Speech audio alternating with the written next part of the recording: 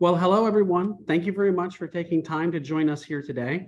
My name is Lance Liberti, and I'm going to be the presenter for today's educational health presentation on non-surgical treatment options for degenerative joint disease, such as osteoarthritis of the knee and shoulder.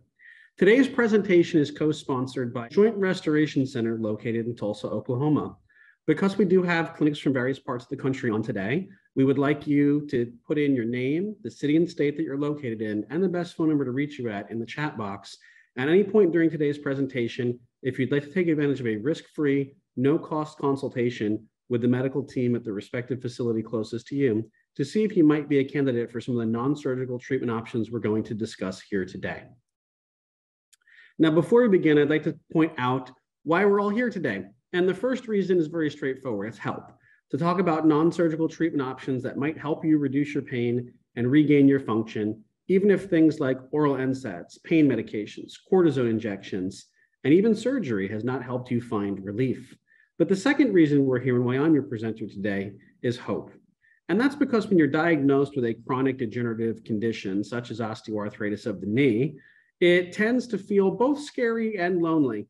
And I know what that feeling is like because I was once diagnosed with full medial bone on bone contact osteoarthritis, what's known as Kellgren Lawrence grade four, the worst you can get. And I was told I would need a total knee replacement at only 20 years old. I wound up with early onset osteoarthritis because I had played high school football. And my sophomore year, when I was blocking on a kick return, uh, one of the opposing players was blocked into me by my own teammate. And not only did they hit the outside of my knee, but when I went down, my foot was stuck under them. So I had a lot of rotation and I tore multiple major ligaments in my knee all at the same time, which had to be surgically repaired. Now, while I was able to get back to walking and relatively normal activities after that, although I was never able to um, pass a sports physical and get back on the field, um, I did lose most function in that right knee a few years later when that repair failed. And I didn't know what was going on. So I went to get an MRI. That's when I found that I was bone on bone and was recommended for a total knee replacement surgery. Now, thankfully, at that point in time, I was working for an advertising agency that worked with a lot of alternative healthcare practitioners. One of those people was a chiropractor up in New Jersey, and I was telling him about what was going on my knee. And his father was a doctor of osteopathy doing injections of the first FDA cleared visco supplement called Hyalgan at a pain management clinic in Midtown Manhattan. So he invited me to fly up and stay with him and have his father drive in from the city and inject my knee with this Hyalgan medication, hyaluronic acid. First injection, I had some pain relief. By the third injection, my pain was gone. By the fifth injection, I could run and jump and do activities I hadn't done since before the surgeries, before the injury. To me, it was nothing short of a medical miracle. I got my life back. I got to avoid the knife. It was absolutely miraculous. But after the excitement wore off, I actually got a little angry and said, why didn't my orthopedic surgeon, my pain management doctor, my radiologist, my primary care doctor, my physical therapist, all these people I had seen back in Florida, why didn't anybody tell me that this existed? And how many more people like me are out there being told that knee replacement surgery is their only option, where this could work for them too? So I convinced uh, the doctor who injected me to quit his job working at that pain clinic and open up a clinic in southern New Jersey uh, to try and take this treatment to more people that didn't know it existed. And it was very successful. We helped over 600 patients our first year. Uh, we grew to many thousands of patients treated in that facility over time and actually co-developed a now patented protocol called the Advanced Arthritis Relief Protocol, which has been proven nearly 93% clinically effective in significantly reducing pain and improving function, even when other treatments such as cortisone injections, pain medications, and NSAIDs have failed to provide relief. Uh, once we standardized this protocol, we began teaching and certifying other facilities and providers around the country how to do this as well, such as the co-sponsors of today's presentation. And we now have more than 200 facilities in more than 40 US states offering this treatment. And since we began licensing it, uh, we have over 600,000 patients that have been successfully treated nationwide. So while this is still a relatively unknown treatment, uh, we have helped a lot of people suffering from various stages of osteoarthritis of the knee, uh, as well as the shoulder and other joints as well.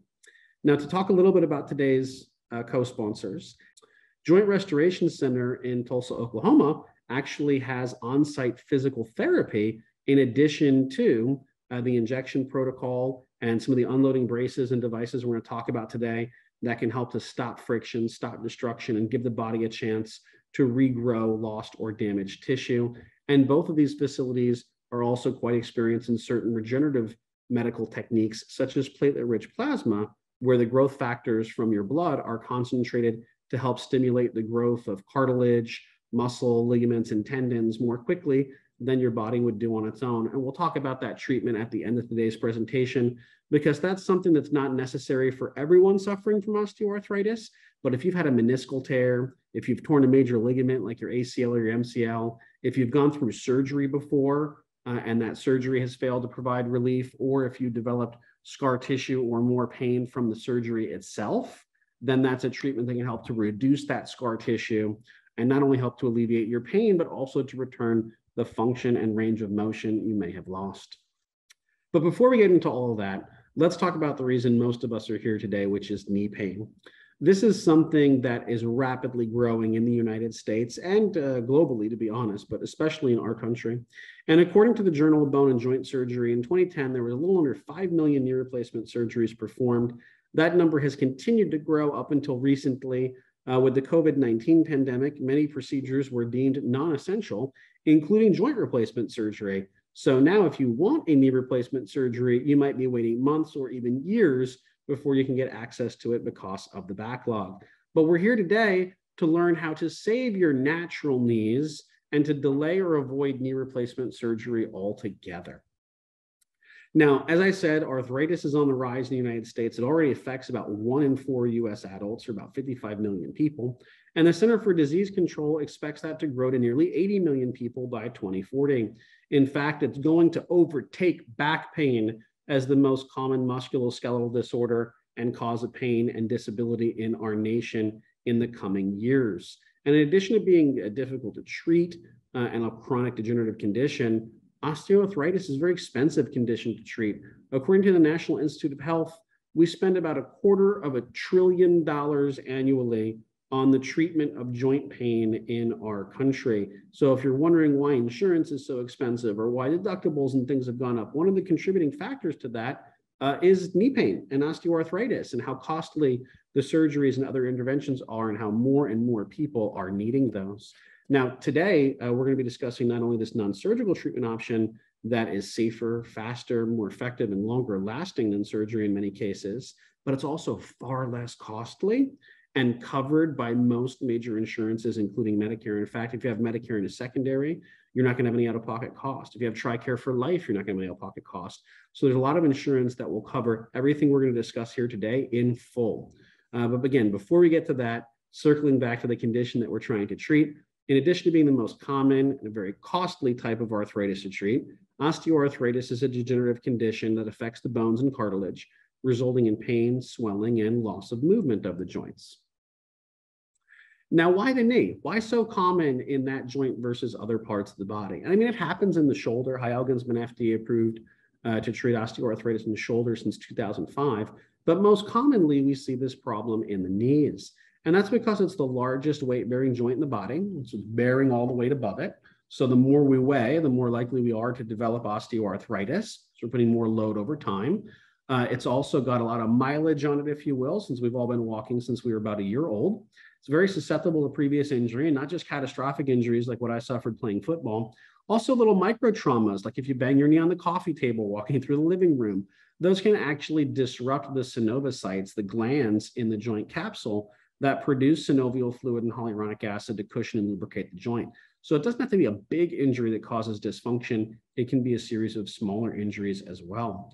Also, the older we are, the more likely we are to develop osteoarthritis, not just because of the increased use, but also because the body begins producing less hyaluronic nat uh, acid naturally on its own, which causes that joint fluid to become thinner, the bones to move together, and friction to start breaking down cartilage and even bone. And last but not least, uh, deformity, uh, something called a varus or valgus deformity uh, was the medical term for it. You might be more familiar with the common speak for it, which is knock-kneed or bow-legged. Uh, and in most people with osteoarthritis, the joint has fallen out of alignment and we're putting most or all of the body weight on only half of the joint. So that increased pressure is going to wear down the cartilage and the structures of the joint more quickly. This is not unlike if you've ever had a car where your alignment went bad and you saw the tread pattern wear off of one side of the tire much more quickly than the other. And if you didn't do anything to fix your alignment, it eventually would result in a blowout.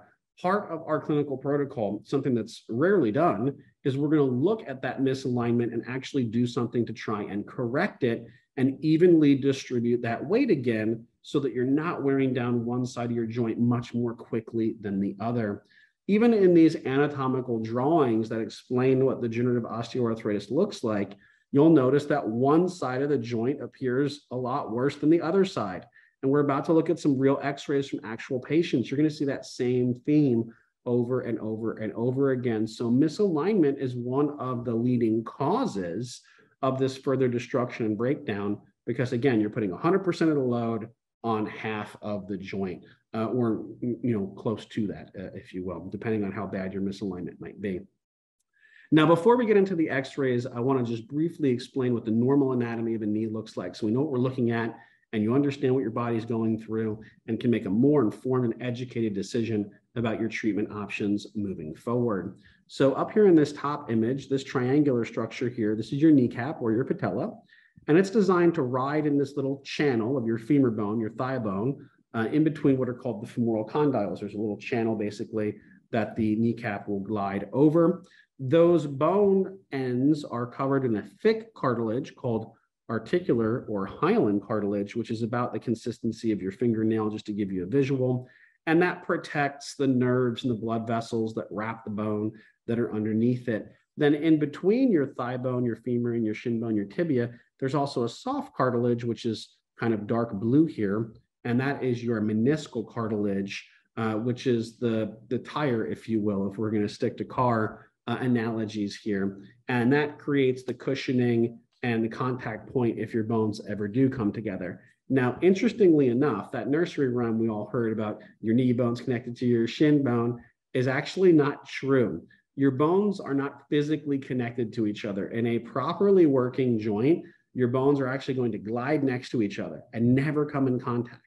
So, part of osteoarthritis is this breakdown of that normal function where now your bones are either sometimes touching and grinding together or all the time touching and grinding together. And that friction breaks down the normal structures of the joint, like the cartilage, and leads to the pain and the loss of movement in the joint. And this all starts because there's a breakdown in the fluid filled capsule of your joint called the synovium. Inside this capsule, there's a thick gel like substance called synovial fluid, which is actually a non Newtonian fluid. What that means is it doesn't follow the laws of physics. If you have water, uh, water will displace if you take a boat and you launch it into a lake, it's going to displace the water, it's going to float. If you drain that lake of all the water and fill it with hyaluronic acid or synovial fluid, try to launch that boat again, the boat's going to tip over. Because when you compress hyaluronic acid, it gets denser and it fights that compression. So it's like your body's natural shock absorber that's going to keep that joint space open and healthy and functional and cushion and lubricate the joint as well. And to give you an idea of the consistency of it, it's like Purell hand sanitizer. It's a thick gel-like substance. It's not uh, real thin and water-like. And it's that hyaluronic acid component that gives it those special properties. Now, in osteoarthritis, your synovial fluid changes and it becomes more thin and water-like. You're producing less hyaluronic acid naturally. That allows the bones to come together and that friction to start breaking down cartilage and can even break off pieces of cartilage or bone like you see in this anatomical drawing. If you've ever been moving your knee, getting in and out of a car, going up and down stairs, putting your socks and shoes on or off, and you feel like your knee got caught on something and then it kind of releases, you're feeling one of those pieces of loose bone or cartilage actually getting stuck as you go through that range of motion. So this is a telltale sign of osteoarthritis and if you have any of those loose bodies present in your knee, you might actually even hear clicking, popping, grinding, cracking. It's called crepitaceous, crepitation, that's the legal term for it. Uh, and that is a telltale sign of more advanced osteoarthritis. So now I'd like to show you some real x-rays of actual patients that went through our advanced arthritis relief protocol. These x-rays were donated from two clinics certified in our procedures from the Orlando, Florida area. Now, the first x-ray is the closest example we could find of a normal knee. And the reason I'm showing you this is because it's hard to know uh, what's wrong if you don't know what right looks like. And it's also very difficult to make decisions about your healthcare if you don't have all the facts. I remember when I got my MRI of my bad knee, my right knee, no one told me or showed me what a normal MRI was supposed to look like. It was really used more like a scare tactic to convince me to undergo surgery and go under the knife uh, versus try non surgical options. So I'd like you to know what your knee is supposed to look like. That way you can better understand what yours looks like compared to that, whether you already have x rays or if you have those x rays done when you go into the facility for your initial consultation. Now, this first image on the left here, it's a front to back view of the knee. And you can see that faint outline that looks like a guitar pick. That is your knee capsule, or your, I'm sorry, your kneecap, your patella. And you can actually see that channel that it glides in behind it. Uh, that's your femoral condyle. That's the valley in there. And if you look close, you can see the outlines of the thick cartilage on that femoral condyle, that fingernail type covering.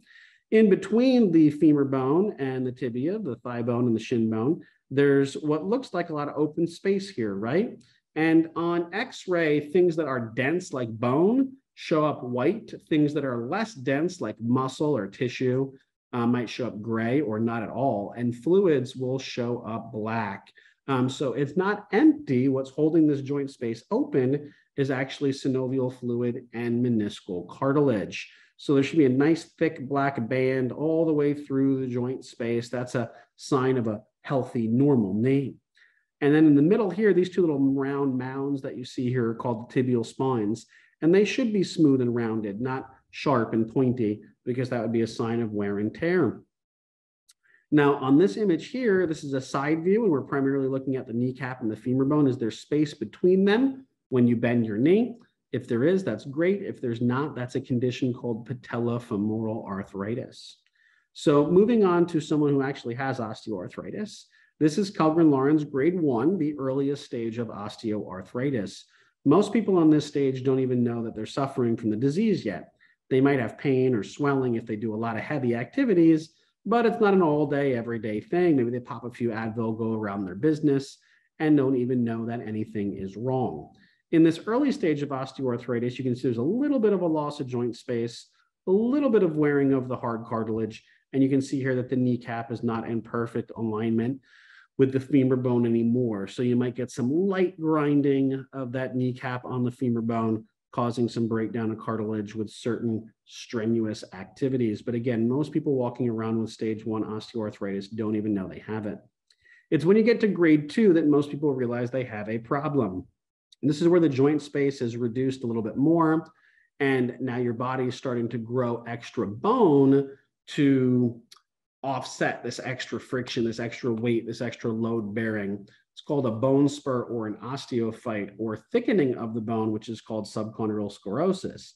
You can see there's kind of these thick white lines here at the top of the shin bone. That's the subchondral sclerosis. That's the body actually growing the bone more dense because it's trying to handle that impact that's happening that's not normal. So that's a telltale sign of more advanced osteoarthritis. Now, when you get to grade three and grade four, this is typically where things like oral NSAIDs and pain medications are really no longer working. Maybe even cortisone injections are failing to provide relief at this point, and you're being told surgery might be your only option.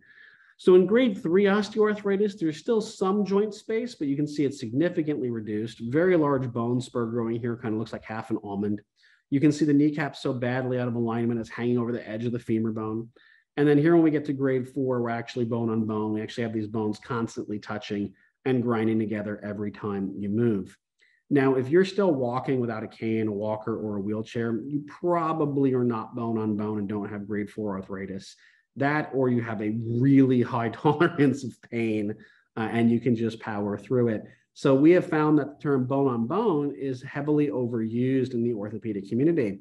And a lot of people that are told that and are told surgery is their only option when they come in for consultations at our facilities around the country and they get their x rays, they can actually see that they're not really bone on bone and they are earlier in the disease cycle than they thought. And this image is here to remind me about partial knee replacement surgeries. See, there's two types of knee replacement surgeries, and we'll look at a total in a little bit. But in all those x-rays I just showed you, one half of the knee was a lot worse than the other half, right? So in a partial knee replacement, they replace only the half that's gone bad. Then they stitch your knee capsule back up and you go about your business. Now, if you've had a partial knee replacement and your pain and symptoms came back, you might actually still be a candidate for injection of hyaluronic acid because your knee capsule is still there. If you have a total knee replacement, they actually remove that capsule from your body. So now there are no non surgical treatments left because the structures that we would try and repair and regenerate have actually been removed from you physically. Now, how do you know if you're a good candidate for the advanced arthritis relief protocol? In addition to not having already had a total knee replacement, um, there are many things that you can look at that you've tried and failed that would mean you might be a good candidate for this procedure. That includes using hot or cold packs, trying exercise or physical therapy, trying to lose weight, using various different medications, whether it's over the counter medications like Tylenol, Advil, Aleve, or whether it's prescription medications like hydrocodone, tramadol, or OxyContin. You can also have tried steroid injections, things like cortisone, that maybe provided some relief at first, but aren't quite lasting as long as they used to, or maybe not working at all. If any or all those treatments have failed you, you're in the right place and you might be a good candidate for the advanced arthritis relief protocol because that's where our specialized combination therapy of these injections of hyaluronic acid with a unique patented unloading knee brace that stops friction and further destruction of the joint and helps to realign the tibia and femur so you don't have that uneven load being placed on half your joint along with physical therapy and home exercise, could be right for you. And again, the goal of our advanced arthritis relief protocol is to delay or avoid the need for knee replacement surgery. So let's talk about the things you may have tried and failed in the past and how what we're discussing here today is different. So pain medications, opioids, hydrocodone, tramadol, oxycontin, etc. These are all a category of medications that are not designed to stop what's causing your pain, but are designed to reduce your sensation of that pain. So, one of the biggest issues with pain medications is right now, if you overdo it, your knees hurt and you know, uh oh, I did too much. Maybe I need to take a break and rest and recover and let my knees recover. Well, if you're taking pain medications, you don't get that pain response. So, you can actually cause more damage to your joints than you know is taking place because you're grinding away that cartilage and bone, but you're not feeling the effects of it. And that's not to mention the other side effects of prescription pain medications, uh, which can be quite serious and even deadly. So, what if you don't want to use the prescription stuff? What about the over the counter medications like Advil, which is ibuprofen, Aleve, which is sodium naproxen, Tylenol, which is acetaminophen? This is a category of drugs called nonsteroidal anti inflammatory drugs. And much like the prescription pain medications, they're designed to reduce the sensation of pain and to reduce inflammation. Uh, but also, like the prescription medications, they're not designed for long term use and it can cover up when you're causing more damage. I actually learned this when my daughter was under a year old. She had her first big fever. Uh, we took her in the emergency room to get worked up, and they said, you know, she has a flu. Take her home, give her uh, Motrin, and then four hours later, give her Tylenol. And I'm like, oh, why both medications? And they go, oh, well, Tylenol is very difficult on the liver. Motrin is very difficult on the kidneys. If you switch back and forth, uh, it's less likely to cause any problems. Okay, great. So I go buy the two medications from the pharmacy.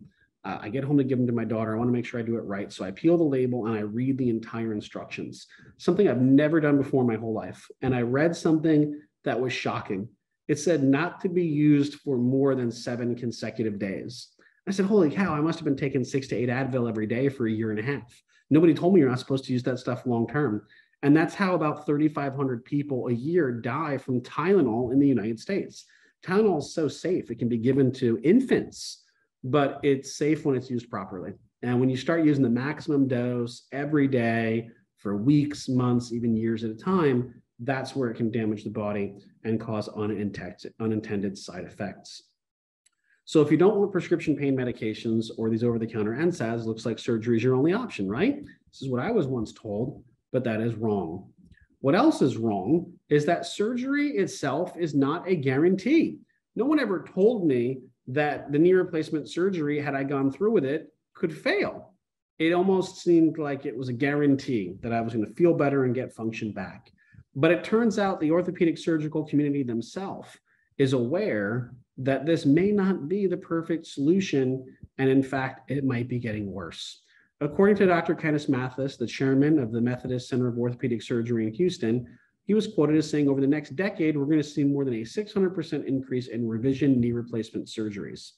What's that? What's a revision knee replacement surgery? Well, that's when the first surgery they did and the hardware that they installed fails, breaks, or doesn't work as intended. And this happens over 60,000 times in our country every year, caused by things such as infection, implant loosening, or breakage of the implant itself. What else is knee replacement surgery isn't nearly as um, effective long term as you might be led to believe. In fact, up to 30% of patients are dissatisfied with the results of knee replacement surgery after only a single year. And last but definitely not least, uh, there are significant risks associated with knee replacement surgery, up to and including death. In fact, one in 200 people who receive a knee replacement surgery dies within 90 days of surgery, not from flu or getting hit by a bus, but from the actual side effects of the surgery itself. What if you have two osteoarthritic knees and they both need to be replaced? That means you have a 1% chance of not surviving that procedure at least for an extended period of time. Those are not very good odds. If somebody gave me a bowl full of 100 M&Ms and said, "Have as many as you like, but one of them is poison and will kill you," I'm not going to eat any of those M&Ms. That is too high of a risk factor for me, a 1% chance of death. And again, like we discussed earlier with the picture of the partial knee replacement, in a total knee replacement, they're actually going to remove the knee capsule from the body that's full of that cushioning synovial fluid, and that's going to be discarded. So now you just have these plastic and metal implants that are grinding together constantly. And that can even release little pieces of plastic or metal into your body, which is why you've probably seen television commercials from law firms that say, you know, if you've had a knee or a hip replacement surgery and you've suffered from the following symptoms or conditions, you might be entitled to damages. You know, call XYZ law firm to see if you're a candidate for you know, blah, blah trust settlement. And that's because uh, the materials that these joint replacements are made of, like cobalt, uh, a heavy metal, um, can actually leak and leach into the system and cause heavy metal poisoning and a lot of other significant side effects. Now, the technology in this hardware has really advanced, so you don't see as many of those commercials on TV as you used to. Uh, but those are serious risk factors to take into consideration. Other risk factors are the anesthesia, not only that small risk of not waking up, but a much more common condition called postoperative cognitive dysfunction or POCD. This is a condition that primarily affects the elderly. In fact, it affects about 12% of people age 60 or older, and it mimics Alzheimer's or dementia, where you have difficulty with, with memory, with cognition and basic tasks, even with speech. And that's because your body has not metabolized all of the anesthetic that was used to put you under during the surgery. For some people, it takes days, weeks, even months to filter that medication out of their system. And it can oftentimes be misdiagnosed as a neurocognitive disorder. It also increases your risk of cerebrovascular events like heart attack or stroke. So, some other considerations, but we're not here to scare you with these drugs, surgeries, and side effects. We're here to talk about a non surgical alternative that's safer, less costly, and possibly even more effective and long lasting than the surgical solution. Because everything we talked about now isn't really solving the problem, it's treating the symptoms. Osteoarthritis starts out as a drying problem, and nothing we discussed so far addresses that. So, a little science experiment you can do at home to understand how this works and why it makes so much sense. Take a regular sponge, get it soaking wet, try and rip it in half. No matter how hard you try, you're not going to be able to tear this thing crumble it up into a ball. It's going to spring back to its original shape very quickly. Now let that sponge sit for a day or two to where it's moist but no longer soaking wet. Now try and rip it. You'll probably be able to tear it. Crumble it up into a ball. It's not going to spring back to its original shape as quickly or even at all. Now let it sit for another day or two till it's bone dry. You don't even have to try and tear it. Take that dry sponge, put it in your hand, make a fist, and it's going to crumble like dust. Why is that? that sponge hasn't changed at a molecular level or chemically since a few days earlier. What changed was its hydration. And we are made mostly of water as, as humans, and it plays a very important role, uh, hydration, in the normal function of our body. So if your knee joint does not have the proper amount of cushioning and lubricating fluid, it can break down and wear away. And what's worse is your cartilage, that's there as your last line of defense, it becomes more brittle when it's not properly hydrated and lubricated, which means it weakens it and makes your breakdown much more quickly. So as synovial changes from thick and oil-like to very thin and water-like, and you have less of it, it causes all these issues. So wouldn't it make sense to just fill a joint capsule back up with nice thick fluid again? This is not a trick question. This is joint lubrication therapy or a procedure clinically called viscosupplementation. It's a process by which medications using hyaluronic acid, uh, an FDA approved, I'm sorry, FDA cleared uh, product for replenishing that fluid, um, is put inside your joint capsule. And this is unlike other types of injections like cortisone injections. See, cortisone is a powerful anti-inflammatory. That's why if you've ever had a sinus infection or upper respiratory infection and you were coughing up a lot of mucus and things, maybe your doctor prescribed a medication like prednisone, a steroid, and you took those tablets and in a day or two, it dried everything out. And all of a sudden your infection cleared up and you didn't have that extra mucus. Well, injections of corticosteroids work very similarly. They dry up the area in which it's been injected and reduces inflammation. So if you have a drying problem and then you inject something that causes more drying, wouldn't that make it worse? Again, that's not a trick question. This is actually what the medical community is starting to change its opinion to. In fact, major clinical institutions like the Mayo Clinic no longer use cortisone injections for people with osteoarthritis because they've deemed the risk factors to outweigh the benefits. The other risk factors include loss of bone, uh, and because corticosteroids are actually glucocorticosteroids, glucose, they come from uh, a complex sugar molecule that's actually harvested from a special sweet potato that grows in the Amazon rainforest. When your body breaks this down, it increases your blood sugar levels. So if you're diabetic, it can have serious side effects. And even if you're not, repeated cortisone injections can lead to the development of conditions such as cataracts uh, and other degenerative conditions where uh, microvasculature is very important. So the side effects are pretty high. The outcomes are not that great and they don't last very long, which I'm sure you'll know if you've had cortisone injections in the past. So a little food for thought.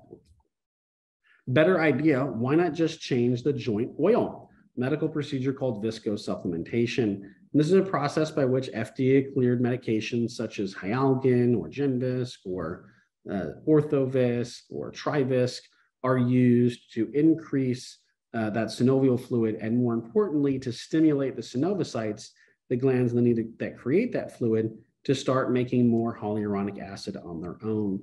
So I'd like to take a moment just to play a brief video for you that shows the procedure being performed. Osteoarthritis, also known as degenerative joint disease, is the most common type of arthritis. With osteoarthritis, the surface layer of cartilage breaks down and wears away. This allows the bones under the cartilage to rub together, resulting in pain, swelling, and loss of motion of the joint. Although in some people it progresses quickly, in most individuals, joint damage develops gradually over years. Viscosupplementation therapy is a non-surgical outpatient procedure by which a pain relief medication called hyaluronic acid is injected into the knee joint.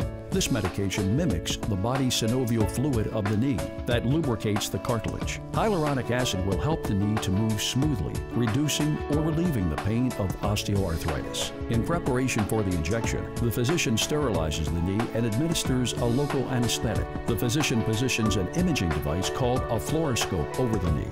The fluoroscope will display a moving x-ray of the inside of the knee that will ensure the hyaluronic acid reaches the joint space. The physician carefully guides a needle into the joint space. The physician confirms the placement into the knee joint with an injection of contrast dye. The contrast dye is clearly visible on the fluoroscope image. If the dye pools in the soft tissue at the front of the knee, the physician will adjust the depth and angle of needle placement until the joint capsule of the knee is reached. When the contrast dye flows throughout the joint capsule, the physician knows they are ready to inject the hyaluronic acid. While leaving the needle in position, the physician removes the contrast dye syringe and replaces it with a syringe filled with hyaluronic acid. The physician injects the hyaluronic acid into the joint space within the knee. The hyaluronic acid will bind with the synovial fluid inside the joint, cushioning and lubricating the joint. When the injection is complete, the physician removes the needle and bandages the knee. Ice is then applied to reduce swelling. Hyaluronic acid is administered in a series of five injections one week apart. Pain relief can be immediate and has been shown to last for six months or longer. In addition to the hyaluronic acid injections, knee bracing and physical therapy are utilized to enhance the effects of the medication. So hopefully that helps you better understand the procedure that we're discussing here today. And I do want to point out two questions that always come up after that video that I'll address straight away. One is, does the procedure hurt? And I can tell you as someone who's received these series of injections three times in my bad knee, that you don't really feel them. In fact, most people say it hurts less than a flu shot or vaccine or any basic type of needle-based procedure. And that's because our facilities use two types of anesthetic to numb the injection site. One is a cooling spray called ethyl chloride, which actually freezes the surface of the skin so that you don't feel uh, the pinch or the insertion of the needle. And then typically an anesthetic like lidocaine 2% is used thereafter to numb the area. So not only do you not feel the injection, but you also have that numbing effect for a few hours afterwards. And by the time it wears off, there's usually no pain or discomfort whatsoever. The second question I always get is, hey, it says it only lasts for six months or longer. Um, is that true? Do I have to have this done every six months? And the answer to that is no. Now, most insurances will cover this every six months if you do need it, especially if your osteoarthritis is very severe and it takes more than one round of injections to get your maximum improvement. But there has been longer term research done since uh, about a decade ago when I made that video. Uh, in fact, one research study following about 2,000 patients at a three year follow up, over 82% of the patients still had a reduction in pain and improvement in function. That three year follow up actually beats almost all the research on similar timed follow ups on knee replacement surgery. So, not only are these injections safer, faster, easier, and less costly, but they may even work better and last longer than their surgical alternative. They're also well proven. These medications have been used tens of millions of times both domestically and abroad. Hyaluronic acid was first discovered and theorized to use as a treatment for uh, joint degeneration in 1982 in Italy. And it was actually first used on racehorses uh, until it was tried in humans in 1985. And the first uh, medication to receive FDA clearance in the United States was Hyalgan uh, back in 1997. So these medications have been around for a long time. Um, they are very safe. Um, they've also been proven very effective. And again, this is something that's covered by most insurances, including Medicare.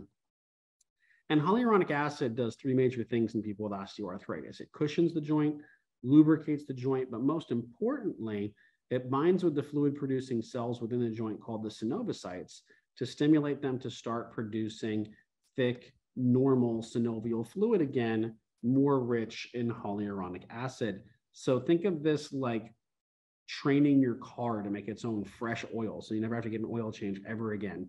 That's what we're trying to do. The goal is not for you to come back and have these injections over and over again, as much as we'd like to see you, not for that reason. Uh, we want this to last as long as possible. And the results do depend a little bit on how bad your osteoarthritis is. Mine was quite severe. Uh, I had bone on bone contact. I had worn through my meniscal cartilage. I had worn through part of my hyaline cartilage. So my symptoms come back about every seven to eight years and I have to go through another round of injections. But I've been able to avoid surgery for nearly two decades now. More good news viscosupplementation is technically a natural substance. It's not a drug. That's why it's called viscosupplementation, like a supplement. It's a naturally occurring substance and it will not interact with any other medications you're on. It has no known serious side effects. Uh, very safe medication. In fact, so safe it's used in place of placebo in certain research studies, like with diabetics, for example, where a sugar pill uh, might be dangerous. They'll use a hyaluronic acid capsule uh, because of how safe and benign it is. So at this point, you're probably wondering if this is so good, how come I haven't heard about it before? Must be too good to be true. What's the catch? So let's talk about that. What if you've had these injections in the past and they didn't work? Well, what was injected matters. There's dozens of different visco supplements that are FDA cleared now, and they're not all a series of five injections one week apart. Some are a series of three, some are two, and there's even single shot injections out there.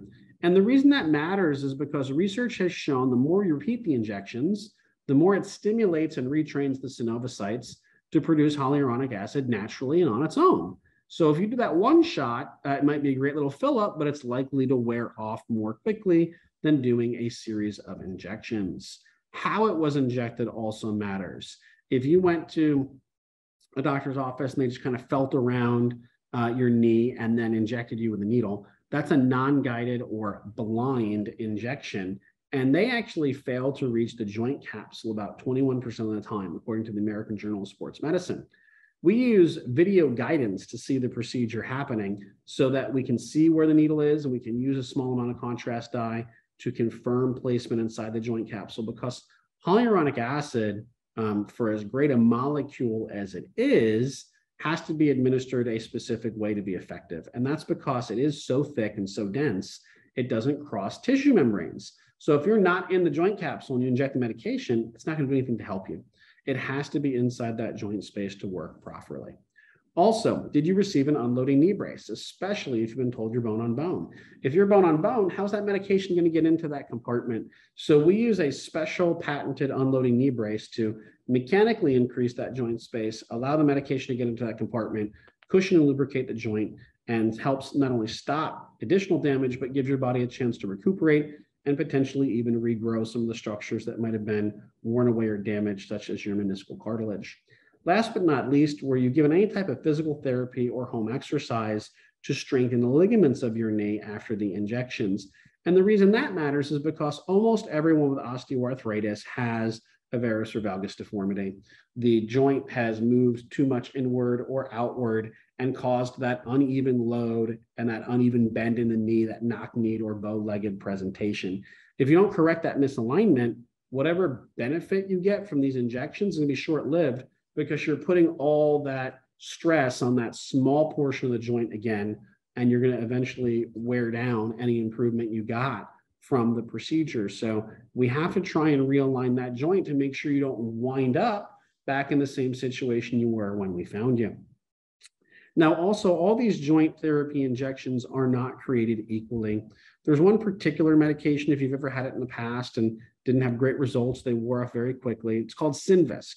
Um, Synvisc actually has a different active ingredient than every other visco supplement that's FDA cleared. Uh, their active ingredient is something called hylan uh, versus hyaluronic acid.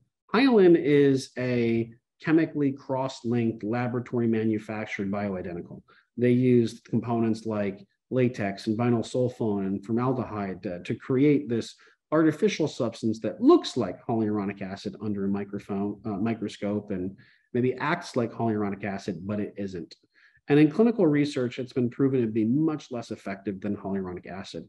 In fact, according to the American College of Rheumatology, um, they said, quote, in view of the likely lack of a superior effectiveness of hylan over hyaluronic acid and the increased risk of local adverse events associated with hylan, we discourage the use of intraarticular in patients with osteoarthritis of the knee. So what they're saying there is that the risks way outweigh the benefits, and they don't think this should be used on people with OA. So if you've had Synvisc and that didn't work, you're in the right place. Uh, the medications that we utilize are likely to be more effective. And most importantly, we're going to administer them in the right way. Uh, these devices here on the right-hand side of this slide are some examples of what a video fluoroscope looks like to allow us to see inside the joint capsule in real time to ensure that medication gets to where it needs to go and to overcome that risk of missing the spot for this medication to be effective. Now, this is what an arthrogram actually looks like. That's where we do a small injection of contrast dye and watch how it behaves. If that dye spreads towards the back of the knee and up behind the knee capsule, we know we're inside the joint capsule and ready to inject the medication. If that dye just pools like an ink blot, we know that we're not inside the capsule and we have to adjust the depth and angle of needle placement until we get inside that space to administer the medication properly. Now, when our program is followed and the advanced arthritis relief protocol is utilized, the results are really extraordinary. In a randomized multi-center study of 384 patients, 356 of those patients had a 50% or greater loss of pain improvement of function, and only one patient had no improvement at all. So nearly everyone got some relief from this. And that's because our patented three step approach addresses every contributory factor to your osteoarthritis, or at least everything that can be addressed. If your joint space is compressed, we'll use an unloading knee brace to hold it open. We'll use the injections of hyaluronic acid to build that space back up and to stimulate the synovial to produce more fluid. So you don't have to wear that brace forever. And after a few weeks or a few months, you can take it off and that joint space will be maintained. We'll utilize a physical therapy protocol or a home exercise device to help strengthen the ligaments and pull that joint back into proper alignment so that we don't have that uneven wear and tear. Uh, and most people experience significant results within the first few visits. So you can feel this working, uh, know that it's helping, and also know that it's covered by most insurances, including Medicare. Now, this is real evidence of how the unloading knee brace works. This is a medial bone on bone contact, so the inside of the knee. And here's just a few minutes later after the application of the brace, you can see that joint space open up. Now here's a lateral bone on bone contact. And again, how we were able to increase that joint space on the outside of the knee by applying this brace and uh, issuing that corrective pressure. Now, this is an actual patient that came through one of our original facilities back in January 2011 uh, through March of 2013. She was an 86 year old African American female. She was uh, very overweight. She was confined to a wheelchair and she was in a nursing home. She was not a good candidate for surgery, not only because of those risk factors, but because she previously had a titanium rod installed for a femur break. And here you can see she's very badly bone on bone, very large osteophytes beginning to fuse. This was actually the most difficult case we've ever seen on x-ray. But here she is just 26 months later, and look at all that joint space and also how much more dense her bone is and her muscle is. What happened? How'd that take place?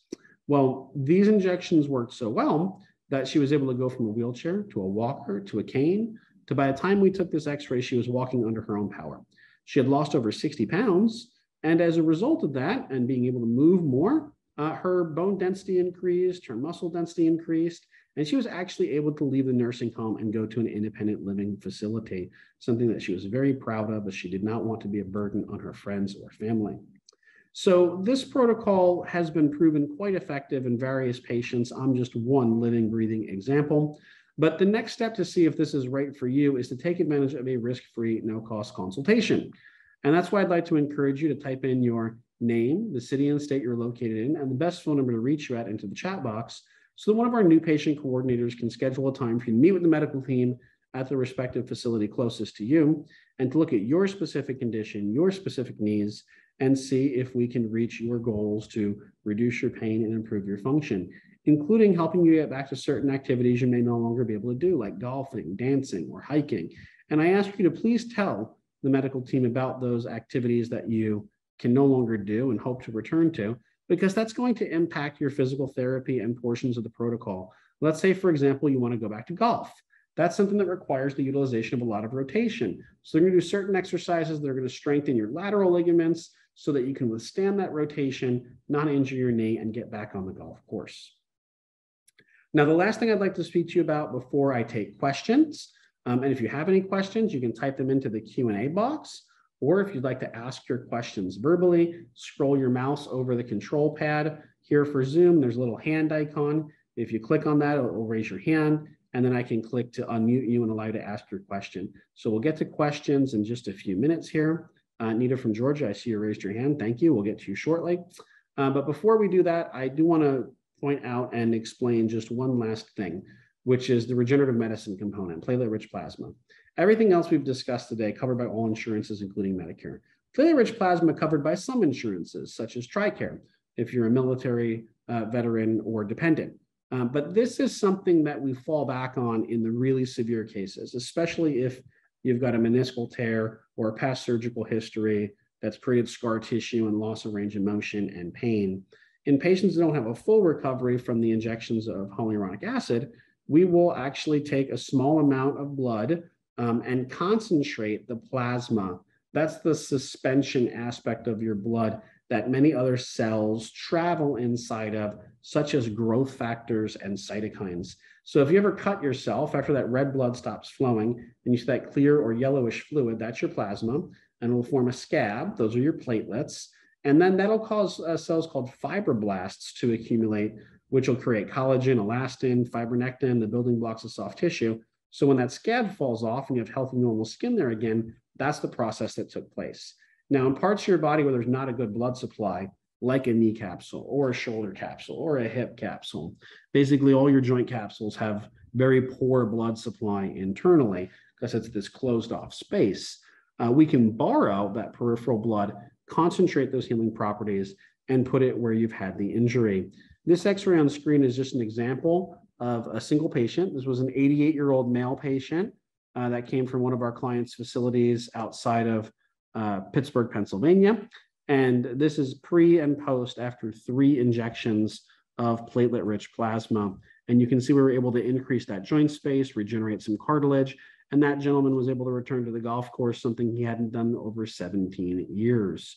So regenerative medicine is an option we have available to you if needed. And I do also want to point out, even if that component is not covered by insurance, it is not very costly. When platelet-rich plasma was first used in our country, I believe one of the first people to have it done was Tiger Woods in 1995, 1996, somewhere in that ballpark. Uh, he paid a Canadian physician a half a million dollars to fly down and do a PRP injection for him. I think Kobe Bryant spent about a quarter million dollars with a physician in Germany uh, when he tore some ligaments in his knee. This used to be a technology that was reserved for the ultra wealthy, for celebrities and athletes and captains of industry. But the technology to concentrate these platelets and growth factors has advanced quite a bit.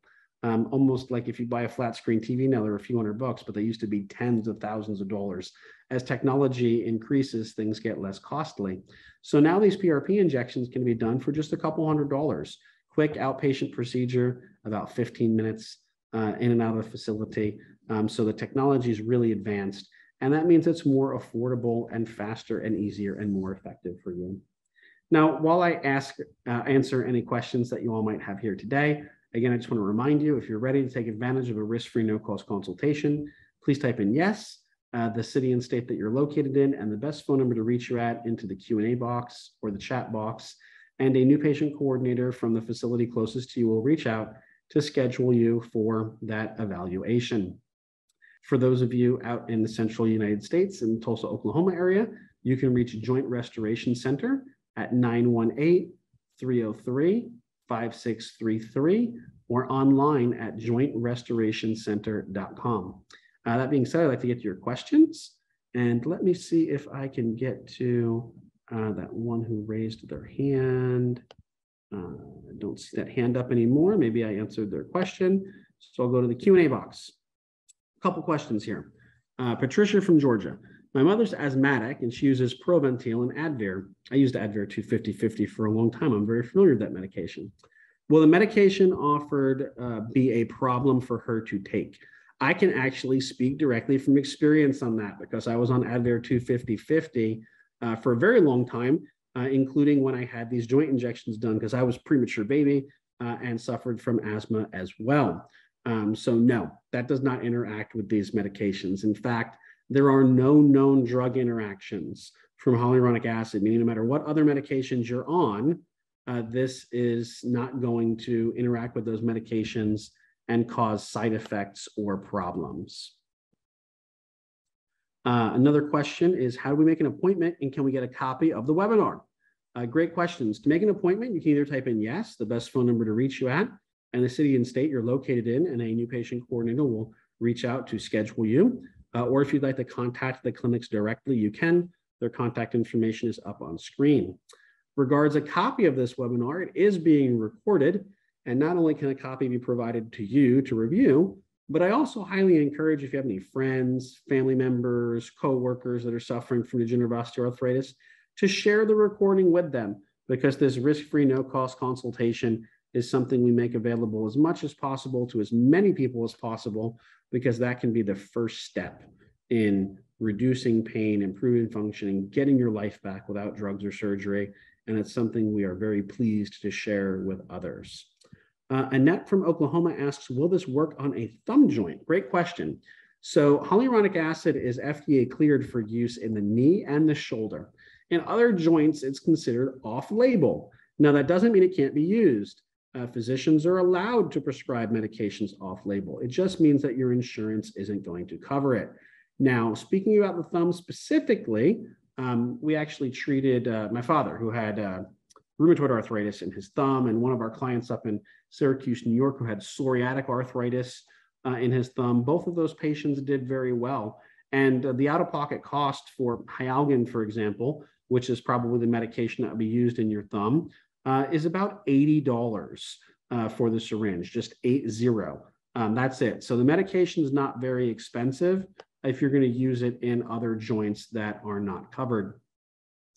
Latonia from Georgia asks, I have used Monovisc. How different is this compared to Monovisc? So Monovisc is not a bad product. Um, it's just a high dose. You're getting 200 milligrams of hyaluronic acid all at once instead of having 25 milligrams of hyaluronic acid injected once a week for five weeks. So Monovisc, uh, Gel One, uh, these single injection medications, um, they're good medications. I've seen patients get good results from them. The problem is that the, the results usually don't last as long because again, you're not retraining the synovial to produce more hyaluronic acid on their own. You're basically doing a fill up versus correcting the problem so that the joint can fill itself naturally moving forward. Also, when you get a single injection, um, you have to come back to did that get into the joint capsule or not? You know, American Journal of Sports Medicine says 21% chance that the injection is going to miss the joint. Well, if you happen to be one of those 21%, you're only getting a single injection, that means there's no chance it's going to work for you. If you get a series of three or five injections, better statistical chance some of that medication is going to get inside the joint capsule. And again, in our facilities, every facility that's been certified the Advanced Arthritis Relief Protocol is going to use video x-ray guidance to ensure the medication gets where it needs to go. So yes, this can still work for you, even if Monovisc failed to work for you. Another question here uh, is: Does Cigna cover this? Uh, great question. And yes, Cigna does cover this. In fact, most major insurances cover this Humana, Aetna, United, Medicare, Medicaid, TRICARE, TriWest, Humana Military. Uh, very, very common also work comp, uh, personal injury insurance uh, will cover this. So most insurances cover this. If you're concerned about whether or not your insurance will cover it, uh, one of the things that will happen when you schedule your risk-free no-cost consultation is if you provide your insurance information to the clinic, they will perform a complimentary verification of benefits and check with your health plan to make sure that it's covered. And if there's any portion of it that's not covered, they will find out what your co-insurance deductible or copay might be. So you'll know that when you come on in. Um, another question here was about ankles. Same answer as for the thumb. The medication can be used off label. You might have to pay for the cost of the medication itself. Um, and another question here is asking for more information about shockwave therapy. I'm going to have you direct that question directly to the facility there. When you go in for your consultation, they can discuss that with you as well. So that got through all of the typed questions there. And I just want to go back. I see a couple people raised their hand. So let's start with Marilyn from Oklahoma. Uh, Marilyn, what is your question? Oh, and um, to unmute yourself, you just have to scroll your mouse over the control panel and click on the little microphone icon, and that will allow you to speak. While we're waiting for Marilyn to figure that out, um, uh, James, I see that you have a question as well. James from Oklahoma. There we go, James. What's your question? Nope. I, am ready if you can hear me. Oh, there we go, Marilyn. I can hear you. I'll take your question. What is it? I uh, was diagnosed with bone on bone, I think, with both knees over a year ago. I'm in Tulsa, by the way. And uh, they said I was sent to finally to the surgeon and uh, was told that no, they would not operate until my A1C, because I am a bad diabetic, my A1C reached to be about seven. Well, because there's been a lot of stress, and I won't even go into that. Um, I haven't reached that goal yet. I've come down lower, but I haven't reached that goal. How does diabetes come into play with this procedure? Uh, does it make it riskier? Does it have any effect at all? Um, it doesn't make it riskier, Marilyn, because we're not going to use corticosteroids unless you have significant inflammation in the joint. The joint needs to be drained. You know, corticosteroids can increase blood sugar levels and be risky in diabetics but hyaluronic acid does not affect blood sugar levels whatsoever. And the risk factors associated with a very simple injection procedure like this are much lower than those associated with a surgery like a joint replacement. So we actually see a lot of patients like you, they're not good candidates for surgery. Maybe they have COPD or emphysema or other um, comorbidities that increase their surgical risk factors, like what you're suffering from with diabetes and your A1C. Well, you can safely go through a treatment like this and see if it works uh, to potentially avoid that surgery that might be more risky. And then let's pretend for a minute that it does work and it reduces your pain and increases your function. One of the greatest ways to help get your A1C down and keep your diabetes in check is through exercise. But it's difficult to exercise when it's excruciatingly painful. So a lot of people find that if the pain is resolved, they can increase their exercise and activity. Now their diabetes gets under control. Now their COPD or emphysema gets better. Their heart disease gets better. So we see people that have a lot of other chronic health conditions that improve after going through the advanced arthritis relief protocol because without the pain when they move they can be more active and you know physical activity is great for the human body um, but it's difficult to do when every step you take is excruciating. Yes. So hopefully yes. that answers your question. Okay thank you. You're welcome marilyn. Um, take advantage of that risk-free consultation and i hope this works for you. Thank you. You're welcome. All right, James, were you able to uh, figure out how to unmute your microphone there, sir? If you're if you were, you're welcome to ask your question. I apologize for the technical difficulties with the Zoom here. Um, and then I did see one more question into the chat box. Um, can you do this in your knees and shoulder at the same time? Latanya from Georgia. Uh, yes, you can. You can do multiple joints at the same time on the same visit. Um, knee and shoulder are separate areas, so it's not going to be an issue. Uh, when it comes to doing uh, your knees, though, because we are using an anesthetic to numb the area, typically it's done one knee at a time. You would come in with your right knee on one date, your left knee on another date if you were bilateral, because if we numb both the knees and do these injections, you're liable to fall if you if you walk out with both of them numbed up. Now, if you're coming a really long distance or you're coming from a nursing home or something of that nature, you have medical transportation, we can do both knees at the same time, but we might hold you in the office a little bit longer to let that anesthetic wear off so that you can walk and ambulate uh, more safely after the procedure. So, great question. Um, thank you very much. And I think that brings us to the end of today's presentation. Uh, if there's anybody's questions I missed, um, and James out in Oklahoma, I'm sorry we couldn't get the, the microphone to work for you there, sir. Um, any questions that have not been addressed, please direct them to the clinic when you go in for your risk-free no-cost consultation. For those of you out in Oklahoma, you're going to contact Joint Restoration Center at 918-303-5633 or online at jointrestorationcenter.com. Thanks again for taking the time out of your day to meet here with us today. I hope that you learned something new about osteoarthritis, but more importantly, um, I hope you learned about something that might help you reduce your pain and improve your function, even if other treatments such as cortisone injections have failed to provide relief for you before.